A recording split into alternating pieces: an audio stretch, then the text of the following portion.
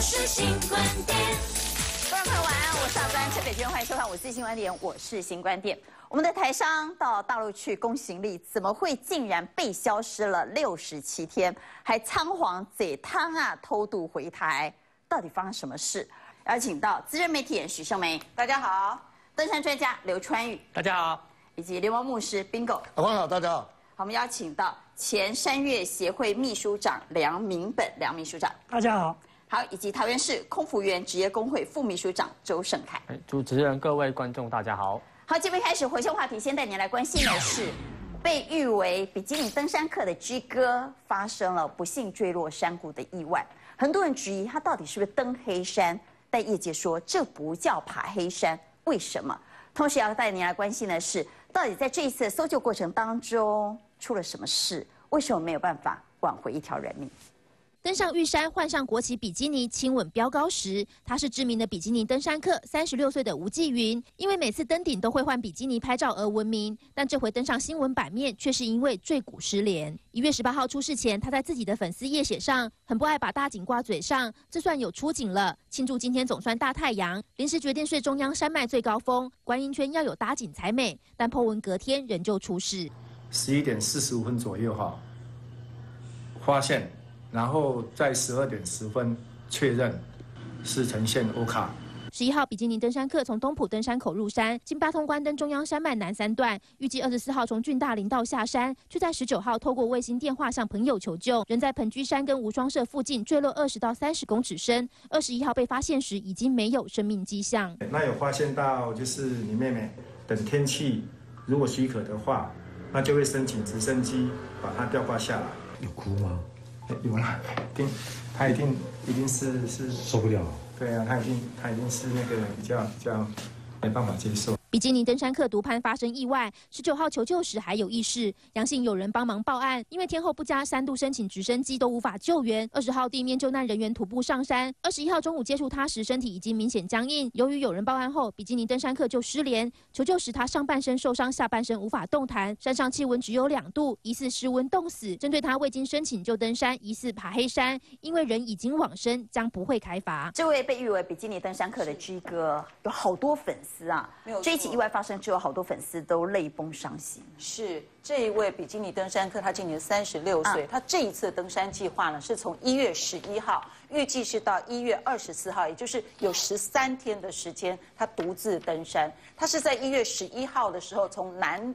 南头的东浦进入这个山区，进入山区之后，他走的是八通关古道，也就我们常常听的，其实很危险的路线。我来问一下川哥哈，他这个路线是很危险的路线吗？对对，这个这个路线现在因为很多，它有很多的断崖，而且很多路都崩塌了啊，所以他走这些路段其实真的是。你可不可以先讲一下他路线是从哪里入山，然后他的计划是从哪里出山，总共花了多长的时间？他的计划里啊，这个一般哈，一般我们走这个马博拉斯横断哦，通常就是从那个东浦的八通关，然后八通关上去之后有没有哈，开始一直走，然后到了八通关山，然后再在那个中央那个中央金矿，然后上去之后，一般走马博拉山拉马博拉斯那个山的时候哈，然后从那边再走到玉里，从花莲的玉里出去，那这个大概都是八天到十天的行程。那他规划的就是这样的行程？没有，他是。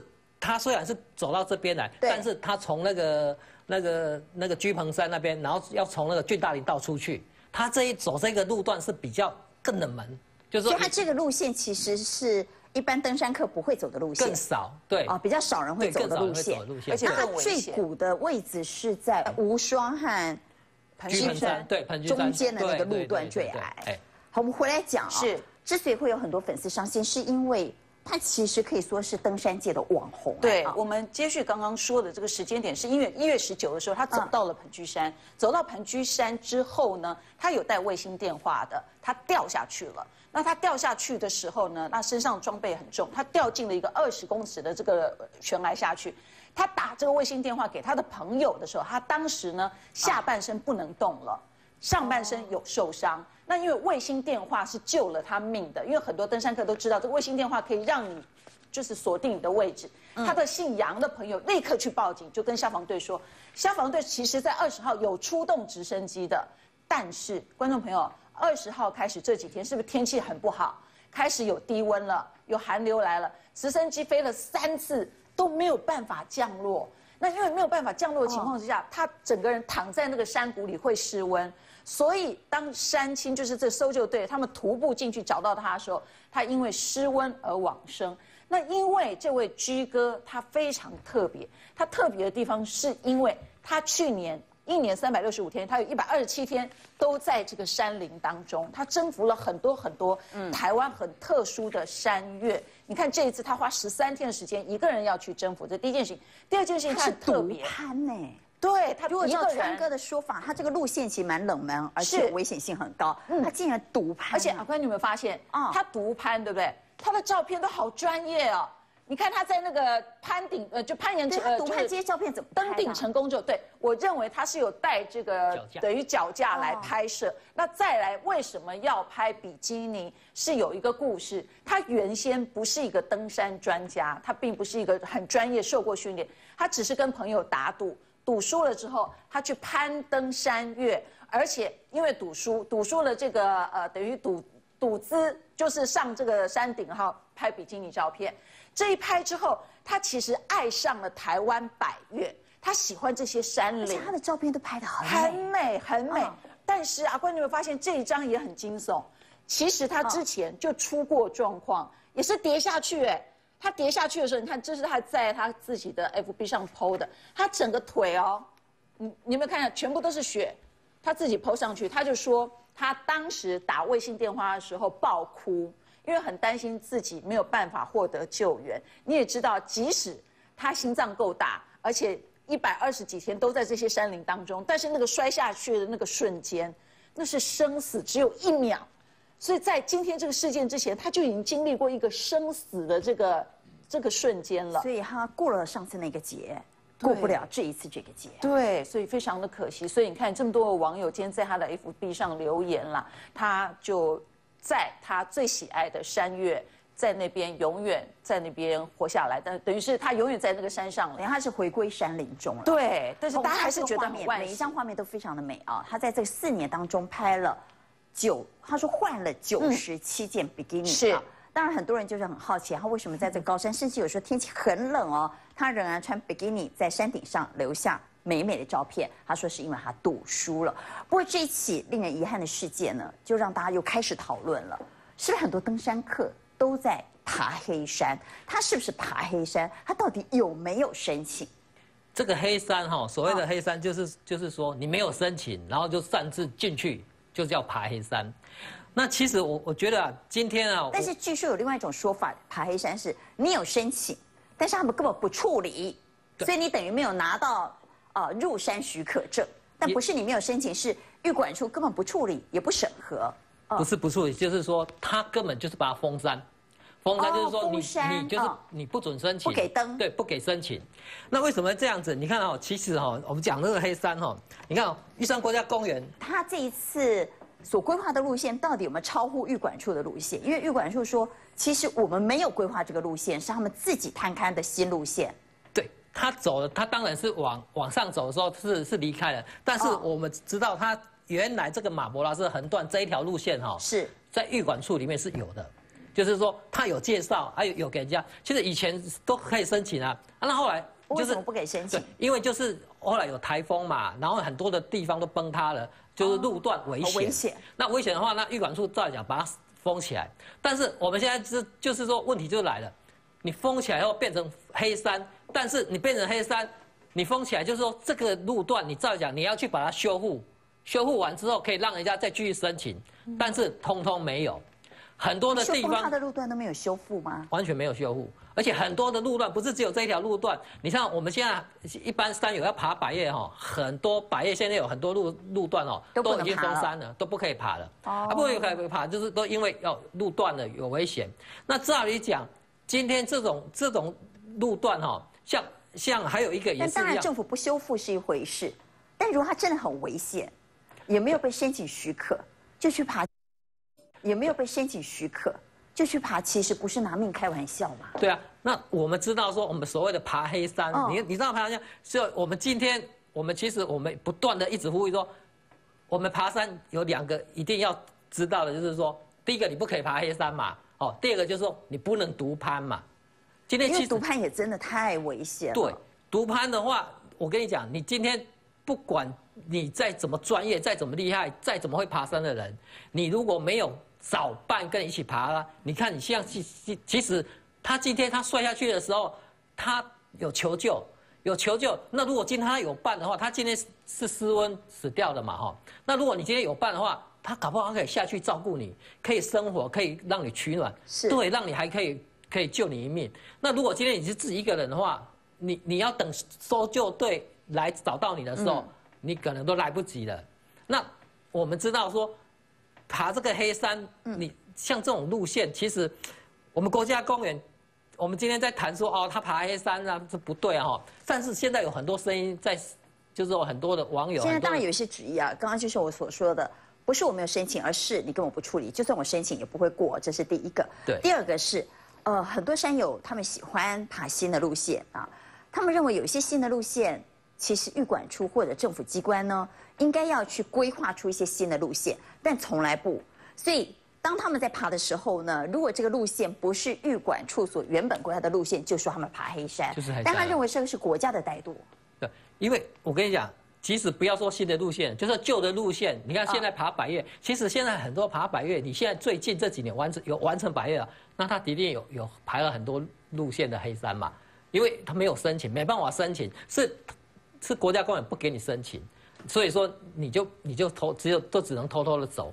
那你看我们讲那个雪山西林，在那个雪霸国家公园有一个雪山西，它已经封了十五年了。十五十五年哦，他当时只是路那个路线就是坏了断了。那再来讲，你封山的目的是什么？你要把它封起来之后，你要去修复它嘛。那修复它之后呢，可以让人家继续走啊。那没有，一封就封了十五年，到现在还是不开放啊。那你现在如果说我们要爬百越的话，想要完成这个路线的话，那都不可能的事情好，我们。回来谈基哥这一次爬的，呃，是马博横断。对，马博横断。马博横断其实很难爬哈，对，甚至被称为是四大障碍啊，就是很会爬山的山友都说，就算会爬百越，马博横但对他们来讲也是高难度的挑战。对，高难度挑战。那你看，我们通常走这个这个路段，一般从你你从那个东浦进来嘛，啊啊，你进来其实从到八通关之后，这个都还算是一般可以可以，就是说一般的山友可以接受的。那其实从这边开始就开始困难了。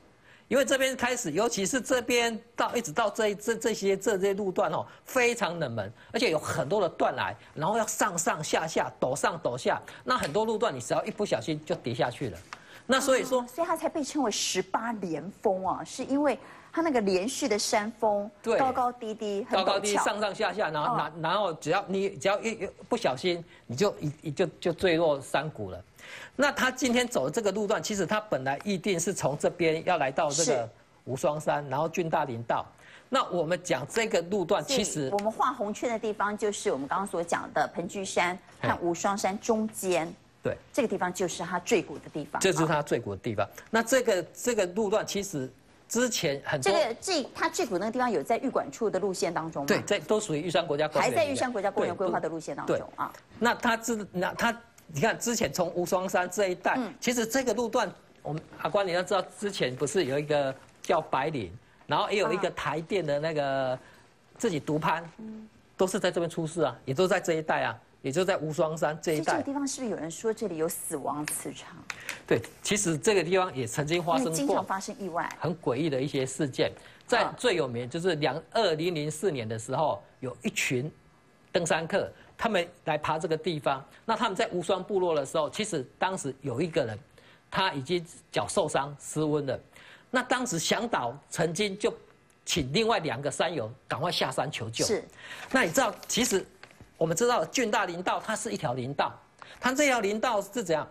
你走出来的时候，这个林道其实可以一直走走走，就可以一条路而已，就可以出去到外面求救了。嗯，那很诡异的是，当时那两个山友已经上到林道来了，就在林道那个的路上，他竟然就停在那边走不出去了，因为那个向导迷路了，不是迷路，因为那那不会迷路了，是一条林道，没有岔路就走出去这样子。走不出去？他走不出去。后来他们说，他们在那边走一天之后，他们说像鬼打墙这样对，类似鬼打墙，走不出去。所以当时向导等了一天之后，看他们都没有没没有任何的下落，他追出去，追出去，追到林道的时候，发现他们两个搭帐篷在那边，问他们说你怎么待在这里？他们说我们走不出去。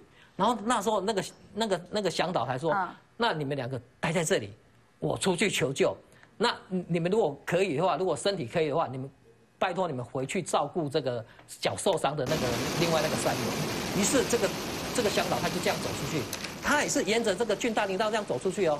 没想到他就在这个路段就不见了，从此到现在都一直都没找到。到现在还人间蒸发。对，而且最诡异的是，这个路就是这样走出去就可以走出走到派出所，走到那个检查哨了。既然他就在这个路段就这样消失了。这个向导到现在都一直没有找到，所以嗯，跟他同行的有人找到了，对不对？对，哎，那另外后来失温那是这个是找到失温的那个画面。对，然后然后另外一个失温的，但是向导到现在还没有没找到啊，失温的那那后来不幸也也也过世了。好，问一下秘书长啊，第一个他独攀，第二据说他经常探看新的路线，而且他每一次都可以负重非常重的，甚至到二十公斤的东西来爬山。嗯，我估计哈，啊，因为他要爬这个十四天的行程哦，应该是超过三十公斤因为我看到媒体写二十公斤，我都觉得二十公斤已经很重了。我估计应该是会超过二十公斤，因为你十四天你要吃的东西就蛮多了，还有一些装备，尤其现在是冬天嘛，所以你的衣服会带的比较多一点。那我们看他走的这个马博拉斯横断的路线哈，他只走了一半，他没有横断。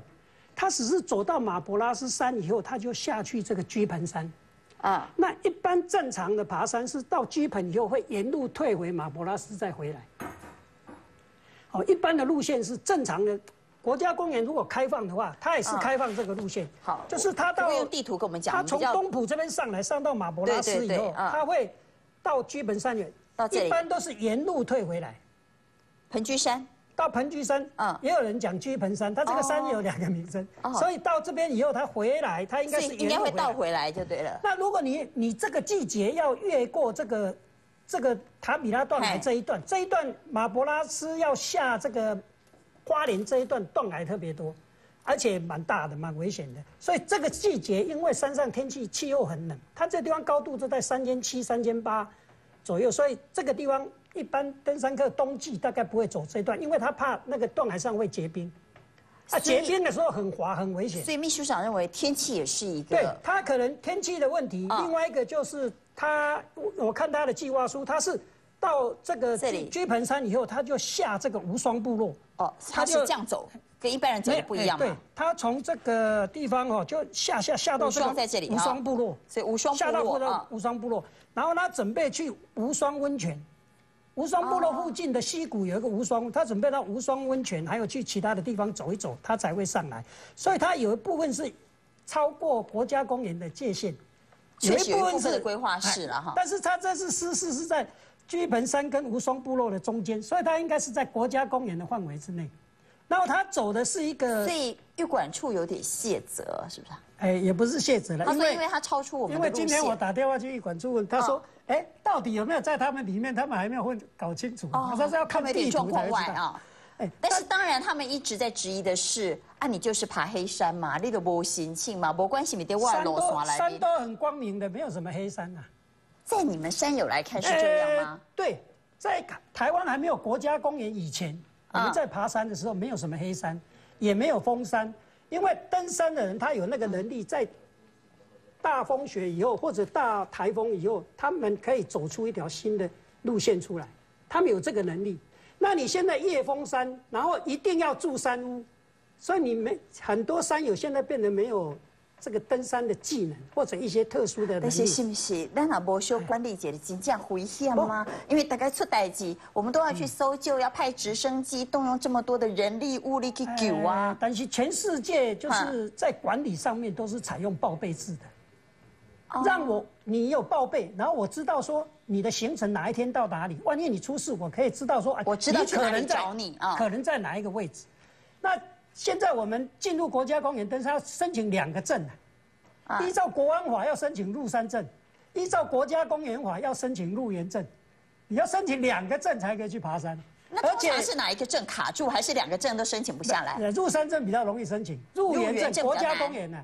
然后国家公园他又会假借这个生态承载管制，他说哦，我这个地方有生态的问题，有一个管制量的问题，然后他所发布的管制量都是三屋，他盖了一个三屋，比如这三屋只可以住四十个人，他说我这个路线的承载管制是四十个人，你超过四十个人我就不准，他是这样子。但像你这样，他像所以像我们这因他们的心态是。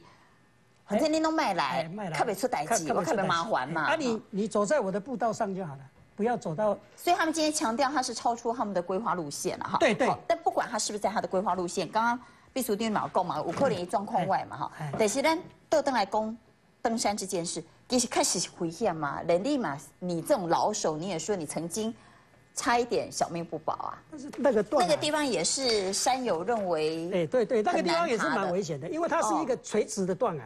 然后路线也常常会改，所以那盖那次代机盖是连南山段，南山段啊，南山段我看媒体恭喜四大障碍之一呀。哦，不，南三段只是路程比较遥远啊。哎，一般马博拉斯路程也比较遥远，然后中间有一些断崖。但是我看它这个真的很陡哎，很陡。跨在尾边一般一般台湾有几个大的出名的断崖嘛，就鬼门关断崖啦，什么中央尖山的死亡林线啊。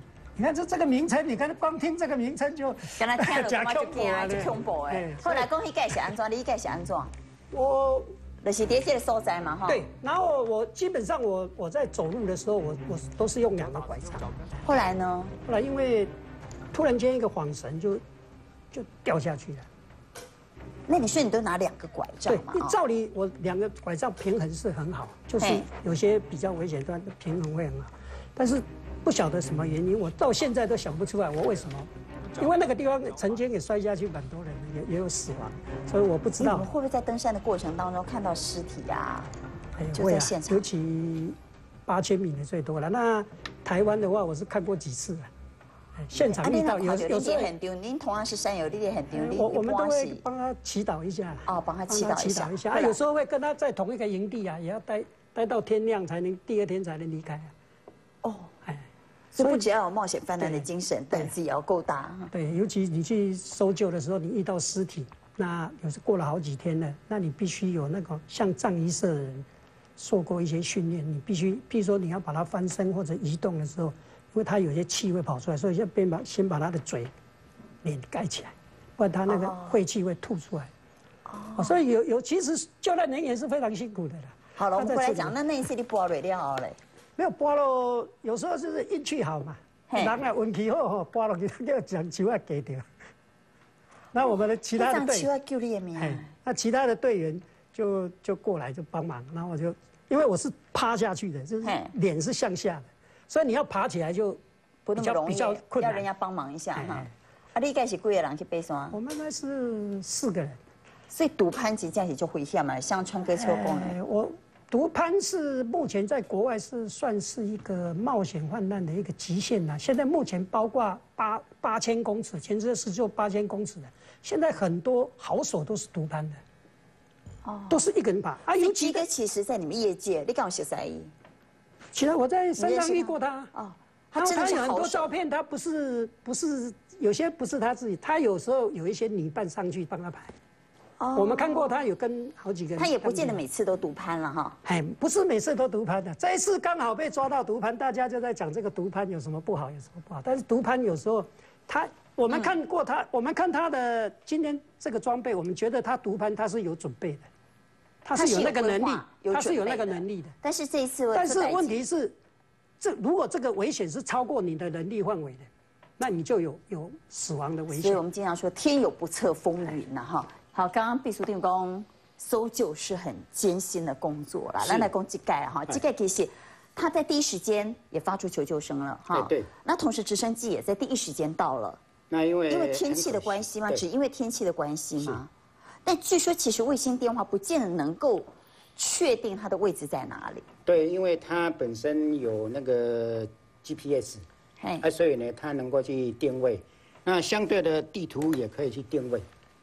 哎，啊，所以所以到底是不是有卫星电话就一定找得到所在的位置。卫星电话主要是先告知我现在人在哪里，什么状况，然后呢，透过 GPS 或者是地图来去做定位。好，按那叫垂钓。哎，对。好，但是找到不一定能够救到了哈。呃，最主要最癌的哈，我们就是怕哦那个身体某方面呢，哦有冲击到，然后呢产生呃一些内内出血的那种状况。所以教练，其实我刚为什么特别问这个位置啊？因为天涯公在搜救的过程当中，要把这个人找到，其实没有那么容易。即便现在有很多的高科技设备，你们到现场其实要非常精确的找到这个人在哪里。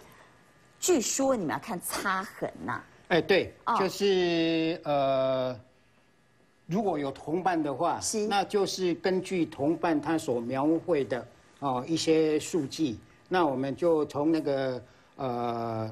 那个桌边，哦，三百六十度里面呢，去先找有哪一些的蛛丝马迹出现。你看，吹毛的时阵，你都无法度啊，擦痕是你一般拢看什么擦痕？哦，就是像踩踏的痕迹啦，折树枝啦，或者是或者它衰落的衰落的过程，都会有一些摩擦。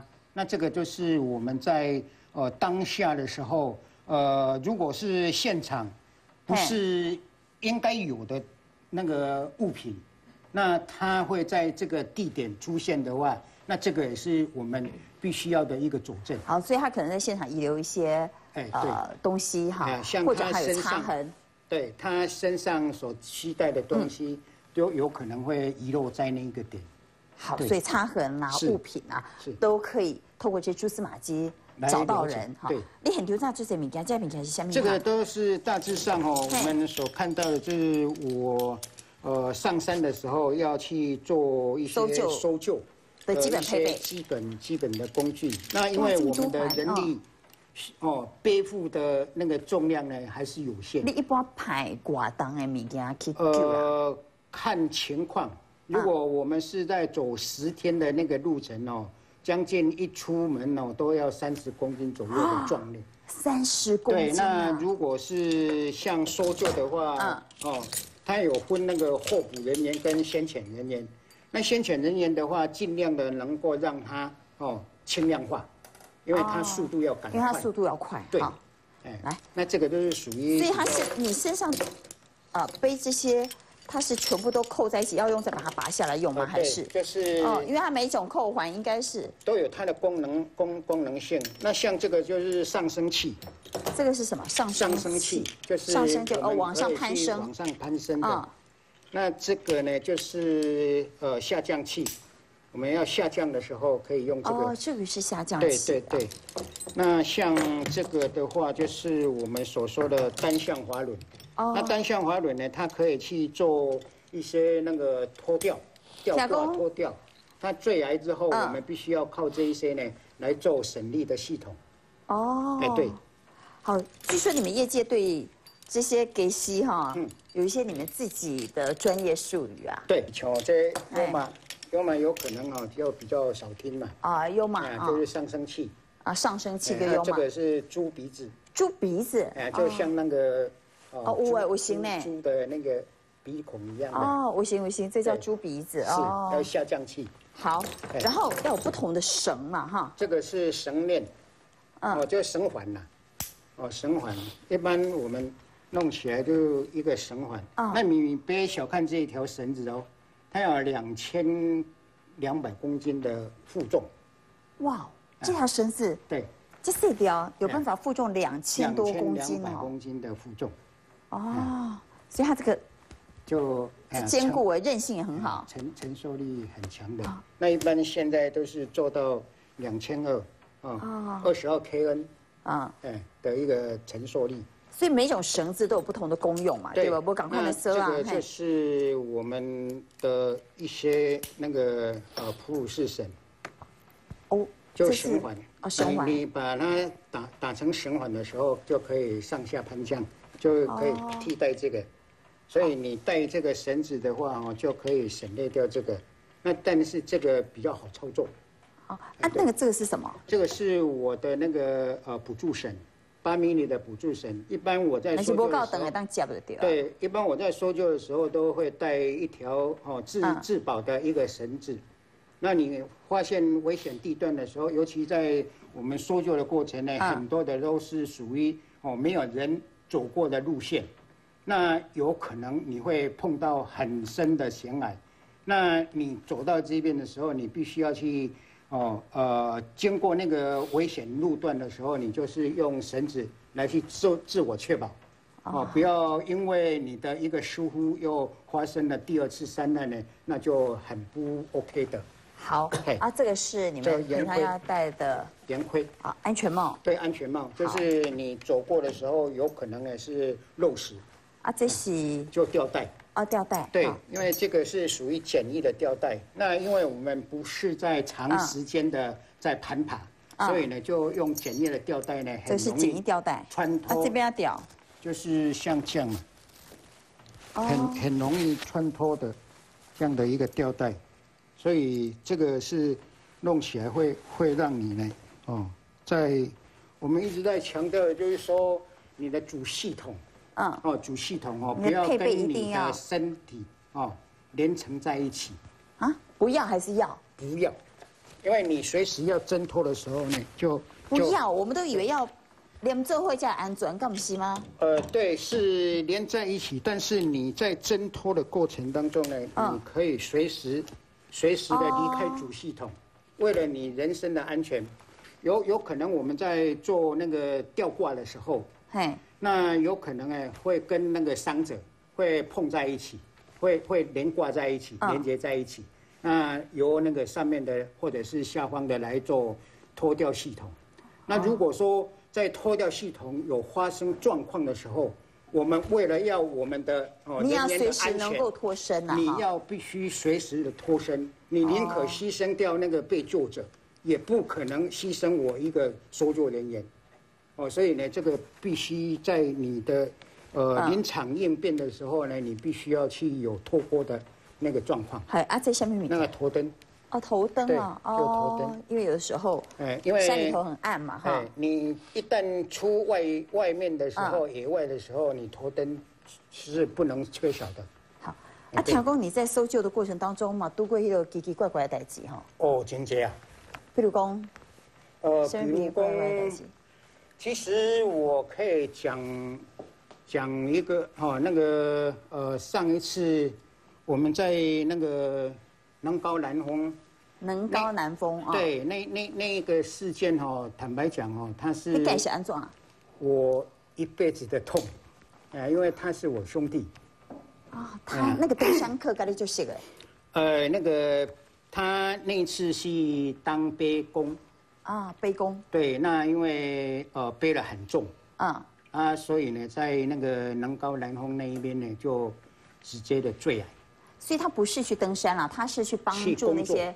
啊，登山客排名家，嘿，对对，啊，结果一拔落，拔落，啊，拔落了了，怎样消息？你有关系要救嘛？对，我就直接的就那个晚上，我听到那个消息之后，我原本要去爬山，嗯，那我就把那个爬山的工作给辞掉，我就直接的到那个去搜救，呃，对，能高南峰，能高南峰去搜救。那刚好我到达那个现场的时候，他有遗留下他的衣服跟。